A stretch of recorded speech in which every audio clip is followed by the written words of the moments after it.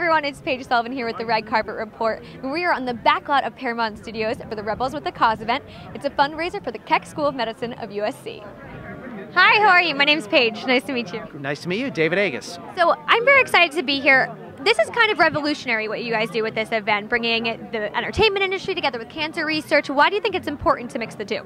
Well, listen, the biologists haven't cured cancer, and the death rate of cancer hasn't changed dramatically over the last 50 years. 600,000 people are going to die this year in the United States from cancer. So we need a new approach. The entertainment industry brings role models to make people realize with cancer, they're not going to be shunned and that it's something proud that I'm fighting the disease.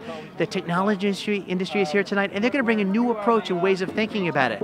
I want us all to fight this horrible disease because it affects every family in this country. It does. So it affects everyone, but I think young people the most don't pay as much attention to it. What is your advice to young people, maybe in their 20s or even in just in college? Well, getting someone who's young to say, I'm going to make a difference today that's going to affect me a decade, two, three years from now, that's going to be a big difference. We need to really get them to change what they do. And so the young people, I want them to be in charge of their own health. And I want them to push their parents and their grandparents to do things also to change their health. Prevention starts when you're young. It does start when you're young, but for somebody who maybe who doesn't have a lot of money, do you have like a, a cheap tip, something that they can do just if they can't afford the kale, is it buy the spinach? So get a load of this. It's not just what you eat, but it's when you eat. If you have your meals the same time every day, your body's going to work optimally. And so if you have your lunch today at noon and tomorrow at 2 o'clock, stress hormones go up, metabolism go down, you gain weight, you don't think as well, and you don't exercise as well. So I want people to get up the same time, go to bed the same time, and eat their meals the same time every day. People who graze, that is eat when they're hungry, have 81% more diabetes. That's insane. I didn't know that eating the same time every day made any difference at all to my health. Oh yeah, and it's the same thing with when it's not just how long you sleep, but it's when you sleep. 600 parents have said have your kids go to bed whenever they want, wake up in 10 and a half hours. 600 parents have your kids go to bed the same time every night, wake up 10 and a half hours later. Over 20% improvement in thinking in the kids who went to bed the same time and got up the same time. And what's true in kids is even more so in adults. Regularity is key. Perfect. That is seriously, my mind is blown right now. I'm very excited about that information because I do find myself eating all times of the day.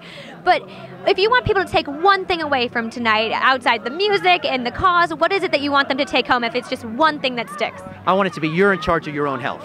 And so each of us are in charge of ourselves. I want people to get naked every month and look at themselves in the mirror and look at changes in their body. You know yourself best. Check your blood pressure, start to educate yourself.